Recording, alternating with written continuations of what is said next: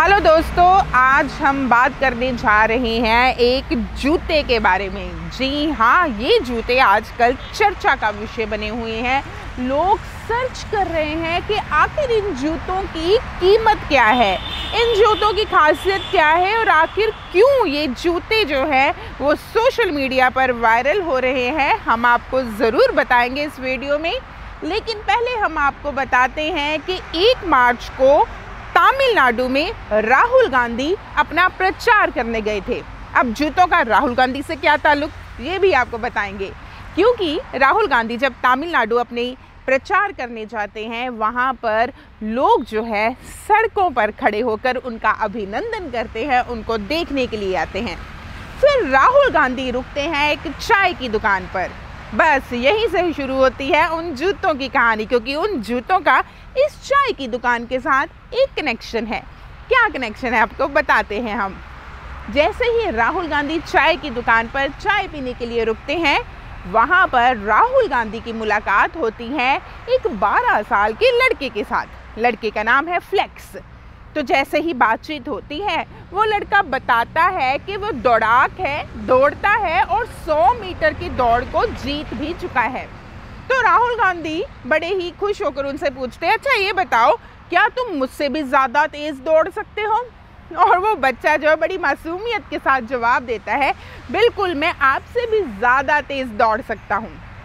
बस फिर क्या था? राहुल गांधी उनकी बात से खुश हो जाते हैं।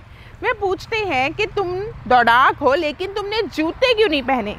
तो वो बच्चा बताता है कि उसके पास तो जूते है ही नहीं। तो राहुल गांधी वादा करते हैं उस बच्चे के साथ कि मैं तुम्हें जूते ज़रूर भेजूँगा। वहाँ पर जो भी लोग उपस्थित थे, उनको लगा कि ये भी किसी लीडर के इलेक्शंस के दौरान किए गए वादों की तरह ही होगा, जो किया है, लेकिन पूरा नहीं होगा। लेकिन कमाल की बात ये है कि राहुल गांधी उस बच्चे फ्लेक्स को जूतों की एक जोड़ी भी जुआते हैं। तमिलनाडु के यूथ कांग्रेस ने अपने ट्विटर हैंडल पर ये ट्वीट किया, फोटोग्राफ भी डाली और उसके बाद सोशल मीडिया पर इन जूतों की चर्चा छिड़ गई।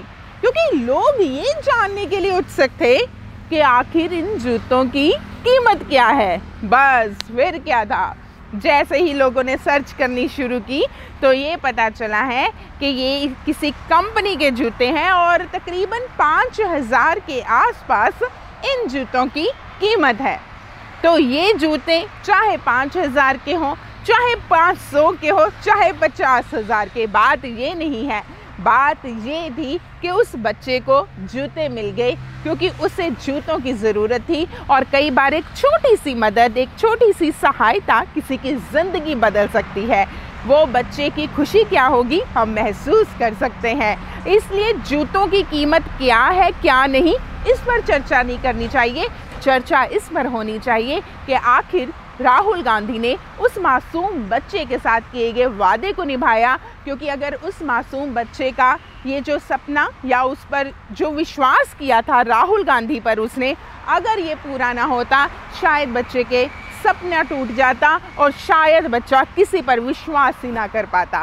तो अच्छा लगा कि उस बच्चे के विश्वास को तोड़ा नहीं गया। तो किसी और अपडेट के साथ हम फिर से आएँगे, तब तक के लिए बाय